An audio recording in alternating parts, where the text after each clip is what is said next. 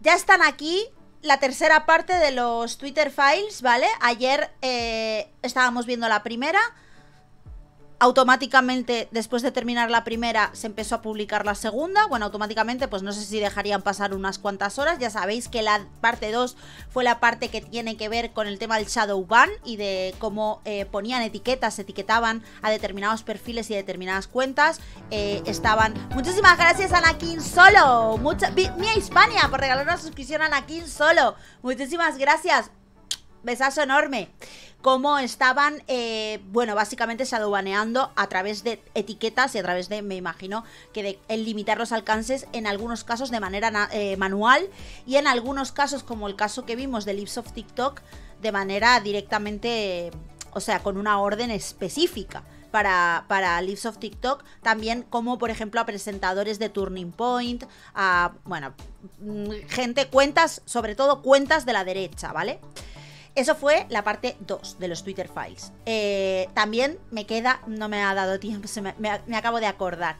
Pero bueno, básicamente también hay una movidilla con el tema de que había un, infiltrado, no, sino un ex trabajador del FBI, un ex agente del FBI trabajando en Twitter que hasta el último momento eh, estuvo em, estuvo intentando impedir que toda esta información saliera a la luz hasta que Elon Musk pues ya no, no le había despedido en la primera tanda de despidos masivos, en la segunda tampoco, y cuando se enteró de que esta persona estaba intentando que toda esta información no llegara a la luz fue cuando lo despidió. este lore, del, todo el tema de este del FBI, no me entero muy bien, ¿vale? Entonces, lo que he hecho ha sido buscarlo en vez de en Twitter, porque en Twitter está todo lo que sería la, la, el hilo de Taibi, de Mark Taibi, que es el periodista que lo está sacando, estaba todo el hilo en Twitter, normal y corriente, y entonces yo lo que hice fue buscarlo en, internet como una noticia, a ver si estaba de forma resumida como una noticia, y lo he encontrado en el New York Post, precisamente.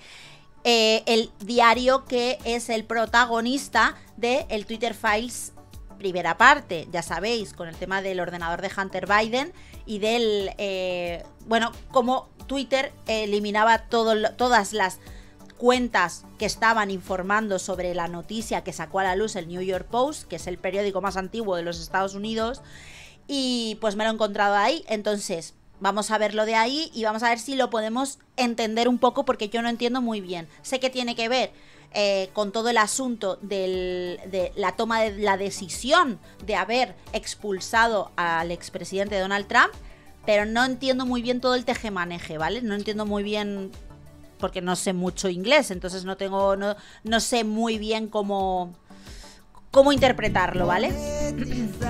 el odio, Ajá, listas afro. Básicamente había listas afro. Tenían acceso a los DMS y Shadow baneaban a discreción. Exacto. Trump incluido justo antes de elecciones. Todo bajo supervisión de la tipa esa y el que venía del FBI, que ya era famoso por chanchullos con Hillary.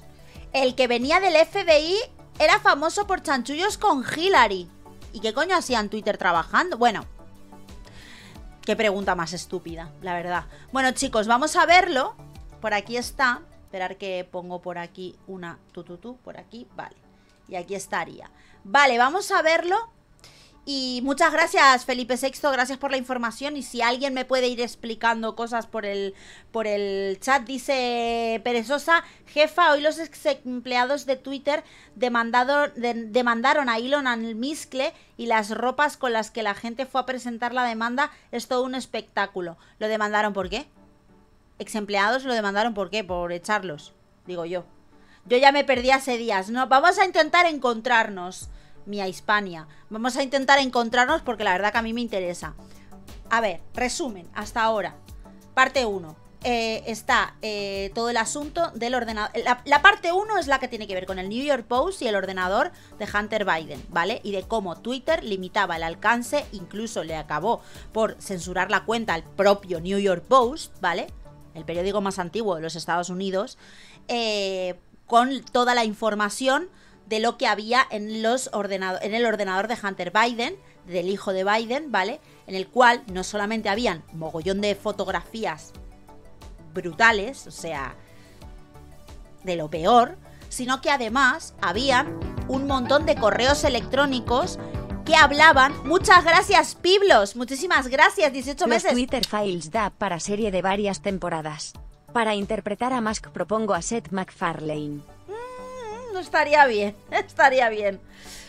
Vale, eso sería la parte 1, que no solamente serían fotos super ultra mega comprometidas de Hunter Biden, comprometidas y en muchos casos cometiendo delitos de carácter sexual, eso por un lado, pero es que además había eh, un montón de correos electrónicos en donde eh, se, se reflejaba la relación que tenía tanto eh, el hijo de Biden como Joe Biden con empresas extranjeras, malversación, bueno, un montón de movidas que ya sí que afectarían ya no tanto como un escándalo de estos eh, polémicos, pues rollo Bill Clinton con Mónica Lewinsky, que sería un poco lo de, lo de, ay, es que el, el candidato demócrata tiene un hijo que es un loquillo, ¿vale? O sea, más allá de eso, ya sería así escándalos a nivel político y a nivel económico de relación del propio Biden con empresas extranjeras.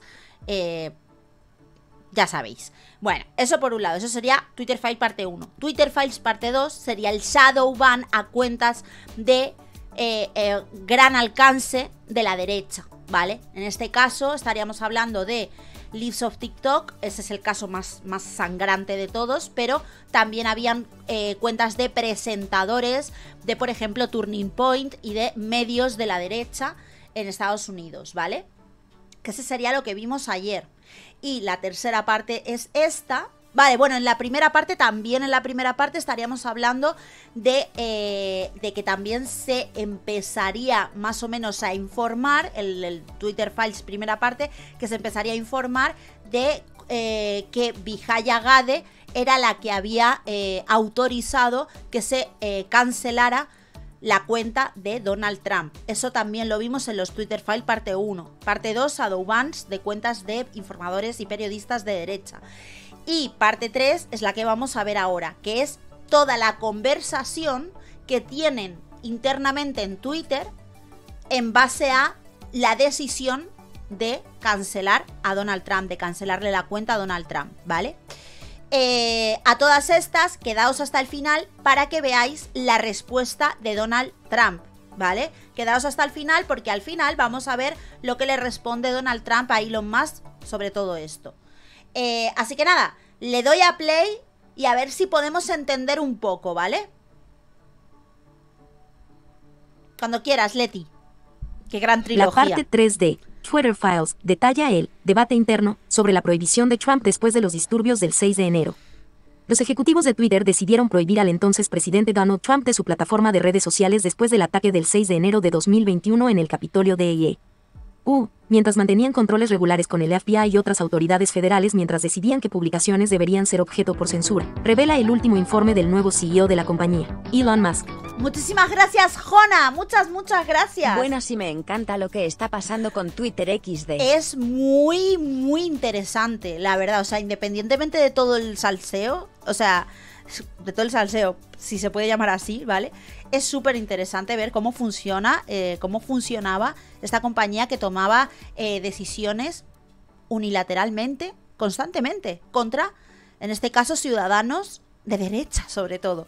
En este caso es contra el presidente, ¿vale? Pero ayer lo que estuvimos viendo fue todo el tema del shadow ban, que es simplemente eran eh, periodistas de derecha, así, sin más, ¿vale?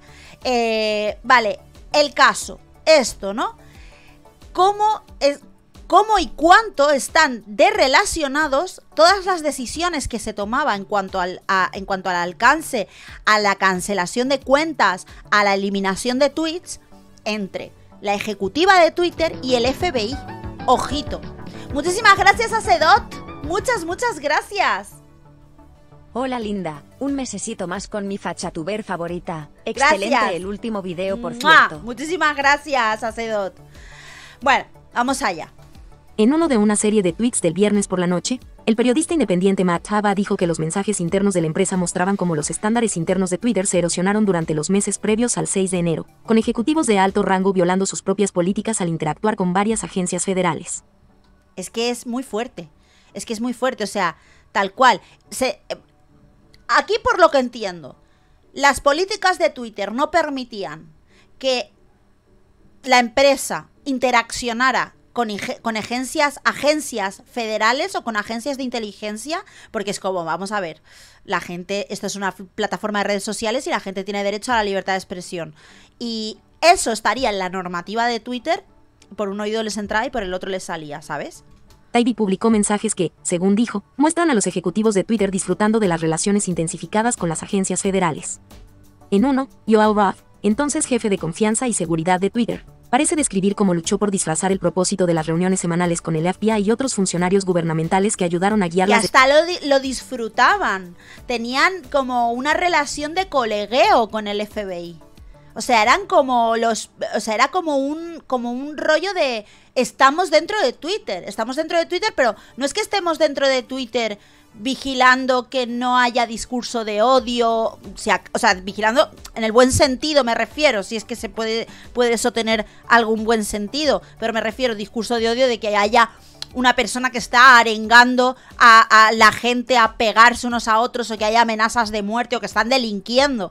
No, es que directamente estamos dentro y nos complace cómo esta gente se dedica a limitar el alcance o directamente eliminar tweets y eliminar cuentas de eh, ciudadanos. Esto me refiero a lo que estuvimos viendo ayer con el tema del Sadhuban, ¿vale? No en el caso de Donald Trump, pero, pero que esa relación de colegueo con el FBI, tío, es que es muy fuerte, tío. Es que es básicamente se podría interpretar como que Twitter era un organismo de control de un- una sola parte de la opinión, la de la izquierda, o sea, la de la izquierda sobre la derecha. Es muy fuerte, ¿eh? decisiones de la empresa sobre la vigilancia de las publicaciones en su plataforma. Creo firmemente en la transparencia. Muchísimas gracias, Infoblogger. Gracias por ese pedazo de raid. Bienvenidos a todos los Infolovers. Estamos viendo la tercera parte de los Twitter Files que ayer se eh, desplegó en Twitter, ¿vale? Así que vamos a ver la tercera parte ahora. Aviso que no entiendo muy bien qué está pasando, no lo entiendo mucho, ¿vale? No entiendo mucho. Lo que sí que me queda claro es que el FBI estaba en todo el ajo, ¿vale? Que había una relación entre la cúpula directiva de SEOs de Twitter con el FBI, que encima iban de colegas y que eh, disfrutaban de censurar cuentas, adubanear cuentas, eh, eliminar tweets, etcétera, etcétera. Eh, y ahora, ¿de qué van los Twitter Files parte 3? Bueno, van de la toma de la decisión de eliminarle la cuenta a Donald Trump. Por lo que sea, por lo que sea, por, ya lo vais a ver. De eliminarle, de esto va la parte 3, ¿vale? Es muy larga, os eh, recomiendo que lo leáis entero en Twitter, ¿vale? Es muy larga, pero ah, sí que hay una serie de tejemanejes que se hacen entre ellos que yo no comprendo muy bien, ¿vale? Y que ahora los vamos a ir viendo. del calendario. Pero llegué a un punto en el que mis reuniones se volvieron muy interesantes. Para las personas y no había nombres de reuniones lo suficientemente genéricos como para cubrirlas, escribió. En respuesta, alguien cuya identidad está oculta sugirió, reunión de negocios muy aburrida que definitivamente no se trata de Trump carita sonriendo. Carita sonriendo. Reunión de negocios muy aburrida que definitivamente no se trata de Trump. Es que encima, todos estos mensajes de Slack, me imagino. Muchísimas gracias, Natil. Muchas gracias. 14 meses fregando como un campeone. Me alegro, me alegro, Natil, a fregar, claro que sí. Eh, muchas gracias, Natil. ¡Mua! Besazo enorme, 14 meses. Bueno, vamos a ver ahora una serie de mensajes que, si- que esto es capturas del hilo de Twitter de MetaIbi. Eh, si queréis eh, irlos parando y, y, los, y los veis, ¿vale? Pero están todos aquí. Pero joder, tío, que lo de carita sonriente definitivamente esto no, no es una no es una conversación sobre Donald Trump, carita sonriente. Tío, colega, es que, en fin, bueno, aquí están todos por si los queréis ir parando, ir leyendo. Estos son todos mensajes de Slack que van sacando, eh, o sea, Slack es, un- ya sabéis, una plataforma pues para para empresas o para proyectos, etcétera, y esto es lo que se mandaban ellos, básicamente, ¿no? Eh, os los pongo por ahí para, para no irnos parando en todo, porque básicamente está resumido en el artículo del New York Otro mensaje muestra a Joao Roth, lamentando las consecuencias personales de la decisión aparentemente sobre la marcha de Twitter de suprimir la primicia exclusiva de The Post de octubre de 2020 sobre la infame computadora portátil de Hunter Biden, sobre la afirmación infundada de que se basaba en materiales pirateados. Básicamente reconocen que es lo de lo de eliminar la publicación del New York Post sobre el ordenador de Biden con la excusa de eh, han conseguido esa noticia porque han pirateado un ordenador, ¿vale? Eh, que es mentira, porque no sé si sabéis, yo me, estuve mirando a ver cómo, cómo cojones habían conseguido el ordenador. ¿Y sabéis cómo consiguieron el ordenador? Resulta que el disco duro del ordenador del hijo de Biden se rompió y lo llevó a una tienda de informática que se lo arreglaran y a que le recuperaran todos los datos posibles. Bueno, pues se lo olvidó allí. Estuvo no sé ni cuántos meses en una tienda, en una, en una tienda de informática allí. Cuando alguien fue a mirar a ver de quién coño era y para llamarlo para que lo fuera a buscar, nunca jamás respondió. O sea, el tío abandonó esa información. Grande Vicky, ¿sabes si James Gunn ha cancelado algo nuevo hoy? Cara guiñando no lo sé, No lo sé, ya, ya me da miedo mirar. Me da miedo mirar. Lo que sé es que mañana, ah, mañana, mañana, sí, mañana tenemos que hablar sobre eh, Ay, ¿cómo se llama? Coño, se me acaba de ir. Lo tenía, lo estaba, estaba pensando todo el rato en el nombre. La direct, Patty Jenkins. Mañana hay que hablar de Patty Jenkins, ¿vale? Porque muy mal todo. Le han cancelado, eh, le cancelaron eh, Wonder Woman y le cancelaron Star Wars también. Tenía también una, un guion de Star Wars y también todo mal, todo mal con ella, ¿vale? Así que mañana me voy a informar bien y mañana lo vamos a ver todo lo que ha pasado con Patty Jenkins en estos días, que es bastante curioso. Bueno, volviendo al caso. El tío se la olvida en una tienda informática, ¿vale? Y cuando van y miran las burradas que hay, dicen, esto...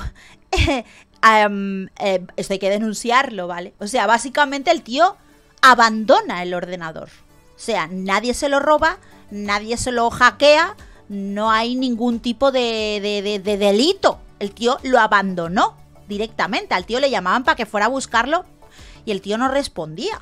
El tío directamente se olvidó de ese ordenador. Por muy rocambolesco que os parezca, la historia es así. Entonces esta gente lleva la información a esta, esta eh, no sé si lo denunciarían a la policía o lo que sea, pero también esta información se filtra a los periódicos. GJ, Divine, la escritora del Nipost que escribió el libro de The Laptop from Hell dice que quizá Hunter dejó la laptop ahí a propósito para molestar a Joe. Bueno, pues mira, esa sería, sería una... Pues mira, me cuadra, me cuadra, gracias Natil, me cuadra. Eso ya tendría una explicación para molestar al padre. Pues el padre no le compraría algo que el tío quisiera o no le daría unos dineros o lo que fuera. Dijo, sí, vas a ver vas a ver ahora. Me voy a olvidar la laptop en, un, en una tienda. Bueno, eh, da igual. Estamos con lo que estamos, ¿vale? Estamos con la parte 3, porque sinceramente no entiendo muy bien qué está pasando, ¿vale? Bloqueamos la historia de NYP, luego la desbloqueamos, pero dijimos lo contrario. Lo están admitiendo en un mensaje de Slack. Esto es una transcripción de los textos que eh, está publicando con capturas, ¿vale? Están reconociendo lo siguiente, bloqueamos la historia del New York Post, luego la desbloqueamos, pero dijimos lo contrario. Y ahora estamos en una situación complicada en la que nuestra política está en ruinas, las comunicaciones, relaciones públicas están enojadas, los reporteros piensan que somos idiotas y estamos refactorizando una política sumamente compleja a 18 días de las elecciones. No hay más, no hay más, lo han admitido. Y ahora estamos en una situación complicada en la que nuestra política está en ruinas, las comunicaciones, relaciones públicas, están enojadas. Los reporteros piensan que somos idiotas y estamos refactorizando una política sumamente compleja a 18 días de las elecciones, escribió. Roth agregó, en resumen, FML, FK My Life. Fuck my life, ¿vale? En resumen. Bueno, por si queréis ir parando todos los, los mensajes de, o sea, los tweets de, de Matt Taibbi, eh, por si queréis ir parándolos ahí para que vayáis leyendo. Eh, también, de todas maneras, os digo que está todo en Twitter y que de ahí lo vais a ver mucho más cómodo que parándolo en un vídeo de YouTube. Pero, por si acaso, pues yo qué sé, no va a pasar, en Twitter no se lo van a bajar, ¿vale? Ahora, pero quién sabe que no venga ahora un mandato federal y diga, vamos a cerrar Twitter, ¿vale? Bueno, pues que quede en otro sitio, por lo menos. Bueno, ahí estarían los tweets, ¿vale? Y con los mensajes estos de Slack que tendréis que desplegar en, en Twitter, ¿vale? Estos son capturas que ha hecho el New York Post, que también están en el artículo del New York Post, ahí también lo podéis ver ahí, ¿vale? Bueno, eh, por ahí, no sé qué, de un bot application. O sea, básicamente, tío, ellos estaban estaban haciéndose pasar por un bot para decir estas cosas. Fijaos, ¿eh? In short, FML, lo pone ahí, fuck my life, ¿no? Y se están haciendo pasar por un, por un bot, o sea, así de infantiles eran, tío. Para no saber, me imagino, para, para no decir quién estaba escribiendo eso, ¿vale? Bueno, sí. Tybee dijo que algunos mensajes redactados mostraban el debate interno que condujo a la prohibición de Trump. Un mensaje decía, actualmente analizamos los tweets y los consideramos tweet por tweet, lo que no tiene en cuenta adecuadamente el contexto que los rodea. Continuó, puede usar los gritos de fuego en un ejemplo de teatro lleno de gente. El contexto importa y la narrativa que Trump y sus amigos han seguido en el transcurso de esta elección, francamente, los últimos cuatro años o más debe tenerse en cuenta. Tybee escribió, antes de J6, Twitter era una combinación única de cumplimiento automatizado basado en reglas y una moderación más subjetiva por parte de los altos ejecutivos. Antiguamente, antaño, Antaño Twitter era un sitio donde, bueno, pues había una serie de normas y más o menos pues se iban cumpliendo. A partir de ese momento, Twitter empezó a ser prácticamente lo que querían que fuera pues los que le mandaron a estos a hacer estas cosas, básicamente. O sea, los intereses del Partido Demócrata, sin más. Los intereses del Partido Demócrata, ahí tenéis todo para que lo vayáis parando igualmente, ¿vale? Es un poco... ya os digo que no entiendo muy bien qué es lo que está pasando, ¿vale? Pero bueno, ahí lo tenéis y ahí lo veis, ¿vale? Em, mientras dice Alan mientras buscaban excusas, a un genio se le ocurrió intentar decir que usaban Machine Learning para moderar. Pues puede ser, puede ser, puede ser. Yo tampoco, esto es muy raro. No es que sea raro, básicamente están sacando las, las conversaciones que tenían entre ellos en Slack ya está. O sea, están sacando las conversaciones eh, de los grupos de trabajadores en Slack, sin más. ¿Vale? Muchísimas gracias, y Kirby. Muchas gracias por esa raid. No sabía que estabas haciendo directos. Muchas, muchas gracias. A medida que se acercaba la elección, los altos ejecutivos, tal vez bajo la presión de las agencias federales, con quienes se reunían más a medida que avanzaba el tiempo, lucharon cada vez más con las reglas y comenzaron a hablar de bahíos, violaciones, como pretextos para hacer lo que probablemente harían. Hecho de todos modos, agregó. Lo que habrían hecho Antes de, prohibir a Trump, los ejecutivos de Twitter comenzaron a abofetear sus tweets con etiquetas de advertencia y el 10 de diciembre ¿Os acordáis? ¿Os acordáis cuando a Trump cada tweet que ponía le ponían que, em, que le ponían como como que esto, eh, eh, este mensaje está descontextualizado. O sea, lo de el descontextualizado a Trump. Cada vez que escribía un tweet, un tweet descontextualizado. ¿Y eso que hacía? Limitar el alcance del tweet un huevo. Que tampoco es que lo limitaran mucho, porque Donald Trump, yo creo que, o sea, ha sido uno de los tuiteros más prolíficos de la historia. O sea, tú te metes, te metías en su, en su timeline y todos los tweets tenían, yo qué sé, mínimos, yo que sé, 50, 60 mil retweets, una locura o más. Entonces, sí, se limitaba, la intención era limitarlo, que lo consiguieran, también te digo que a lo mejor era un poco difícil. Muchas, muchas gracias, X-Drain. Muchísimas gracias. Otro mes siendo oprimida por el rico patriarcado. Y me encanta que nos dieron la razón en todo, solo se necesitaban pruebas y aquí están. Que no harán en YouTube y otras plataformas. En fin, un beso y genial que cubras todo. Muchas gracias, X-Drain. Un besazo enorme. Dijo Tybee. Un mensaje muestra que los ejecutivos de Twitter anunciaron una nueva herramienta de desamplificación L3 para también limitar que los usuarios compartan los mensajes de Trump. Que no se podían compartir los mensajes de Donald Trump. Algunos ejecutivos querían usar la nueva herramienta de desamplificación para limitar silenciosamente el alcance de Trump más de inmediato, escribió Tybee. Tybee dijo que el primer tuit bajo consideración incluía un video del representante estadounidense Jim Jordan, R. Ohio, que aparecía en el canal conservador de televisión por cable Newsmax sobre la afirmación falsa de que Trump obtuvo 11 millones de votos más. Sin embargo, al final, el equipo tuvo que usar herramientas de etiquetado más antiguas y menos agresivas al menos durante ese día, hasta que las entidades L3 se pusieron en marcha a la mañana siguiente, escribió Tybee. Básicamente está diciendo, Tybee está diciendo aquí, que crearon una tecnología nueva para limitar el alcance de cuentas que estaban cuestionando los eh, resultados de las elecciones, ¿vale? O sea, tuvo eh, esta, esta, cuenta de este informador, de este, de este periodista, tuvo que ser. Em, tuvo que ser limitada con etiquetas más antiguas hasta que creamos las entidades L3. Básicamente unas entidades nuevas para poder limitar el alcance nuevamente y con una herramienta nueva hecha expresamente para esto. O sea, han generado un algoritmo o, una tecnología informática, de programación, lo que sea, para limitar el alcance expresamente para las personas que estaban cuestionando los resultados de eh, las elecciones de los Estados Unidos. La importancia es que muestra que Twitter, al menos en 2020, estaba desplegando una amplia gama de herramientas visibles e invisibles para frenar el compromiso de Trump, mucho antes del J6. La prohibición vendrá después de que se hayan agotado otras vías. Los tweets de Taibbi se produjeron un día después de que el también periodista independiente Barry Weiss publicara fotos que mostraban cómo Twitter usaba herramientas secretas para prohibir en la sombra a ciertos usuarios y suprimir sus publicaciones en la plataforma. O sea que hubo Barry Weiss, ese periodista, ya publicó imágenes que le filtraría algún trabajador de Twitter en aquel momento de cómo estaban etiquetando cuentas para ser Shadowban. Es que es muy fuerte todo, tío. El doctor. Heibat Techarge fue incluido en la lista negra de tendencias de Twitter después de argumentar en contra de los bloqueos de COVID-19, lo que lo llevó a tuitear el jueves. Tengo curiosidad sobre qué papel desempeñó el gobierno en la supresión de Twitter de la discusión sobre políticas de COVID. Ya veremos con el tiempo, supongo, agregó. Los comentaristas conservadores Dan Bongino, presentador de Fox News, y el presentador de radio y activista conservador Charlie Kirk de Turning Point USA también fueron incluidos en una lista negra de búsqueda, y recibieron la etiqueta de no amplificar, respectivamente. Bueno, esto está aquí en estos tweets, este cacho, ¿vale? Están estos tweets por si los queréis ver de Matt, de ¿vale? O iros al hilo completo que va a ser más cómodo. De momento, de momento yo creo que, es donde mejor lo vais a ver, ¿vale? Pero bueno, eh, aquí estaría, bueno, y lo de, lo de James Woods. Acordaos de lo de James Woods, o sea, fijaos, fijaos, dice... Fijaos es el tweet de James Wood. Twitter, es, Twitter está suprimiendo este tweet del presidente. Eh, tomad una captura de pantalla, ¿vale?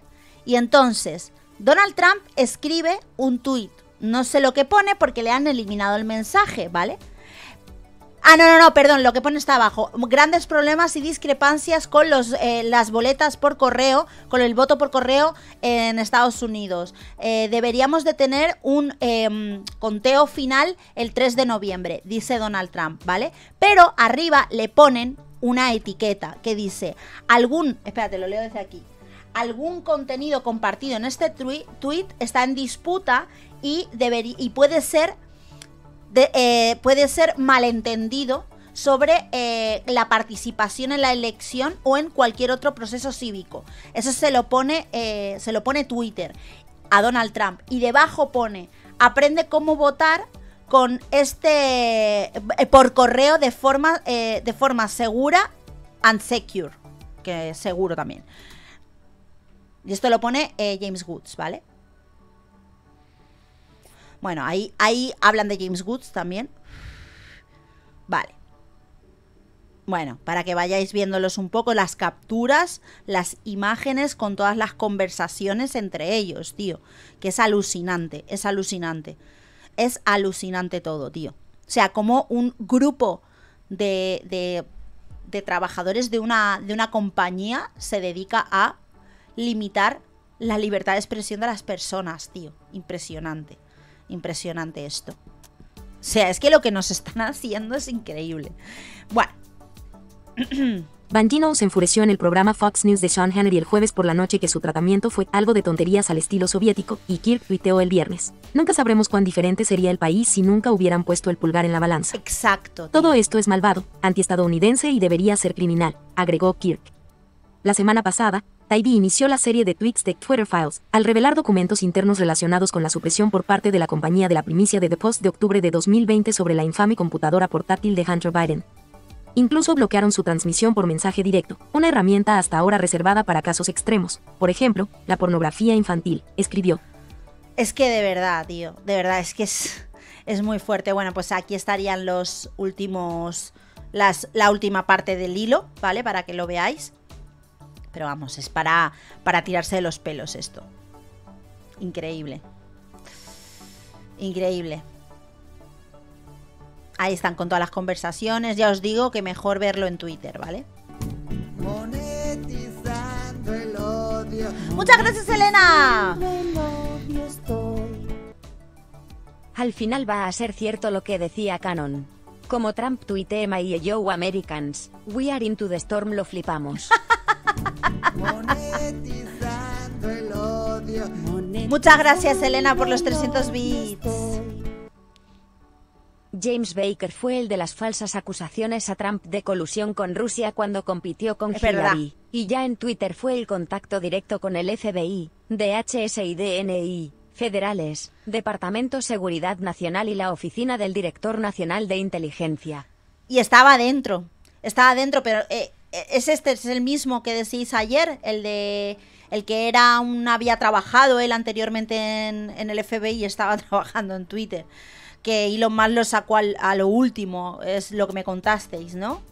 En fin, es que es, es muy fuerte todo. Es que esto, sinceramente, esto merece una investigación judicial. Así de claro. Esto merece una investigación judicial y que se sepa, se sepa y que se condene a estas personas porque lo que estuvieron haciendo es, yo creo que es, bueno, creo no, es ilegal. En fin, bueno, Tybee dijo que un ex empleado le dijo que todos sabían que esto estaba jodido. Pero la respuesta de la compañía fue esencialmente errar por el lado de continuar, Continuar errando, errando. dijo Tybee. En fin, y bueno, ahora eh, vamos a ver la respuesta de Elon Musk a todo esto, ¿vale? Que la ha dado esta mañana en Truth Social, no en Twitter. En Truth Social, no en Twitter, ¿vale? Muy mal eso, Elon Musk. Como complemento, Fox mostró al ex CEO de Twitter mintiendo bajo juramento en el Senado, diciendo que no hacían nada de esto. Espero que le traiga algún tipo de problema una Ali 1 y Piesani. Pues sí, la verdad, porque eh, bajo juramento en Estados Unidos eso se lo toman muy en serio. Mentir bajo juramento se lo toman muy en serio en Estados Unidos, así que debería. Eh, vale, em, vamos a ver qué es lo que ha contestado Donald Trump en Truth Social, ¿vale? Este sería el Truth original, porque no lo podemos llamar tweet, porque esto no es un tweet, ¿vale? Esperad un momento, eh, aquí está. Aquí, ¿vale? Lo siento, pero aquí dice retruths, ¿vale? Entonces, esto es un truth. Este sería el truth original, ¿vale? En, en el truth social y esto es la traducción. Que dice, Elon, a ver, ¿no lo puedo poner más grande? Sí. Elon, los comunicados de Twitter son una revelación porque muestran de manera muy poderosa que el FBI y la justicia se coludieron ilegalmente, demostrando de manera concluyente, de una manera más poderosa, que las elecciones presidenciales de 2020 fueron amañadas y robadas. Lo que todos realmente están esperando ver, sin embargo, es la información de Twitter y el proceso de pensamiento que condujo al momento de la llamada elección y en última instancia la el desplazamiento del presidente de los Estados Unidos. Gran momento en la historia, gracias.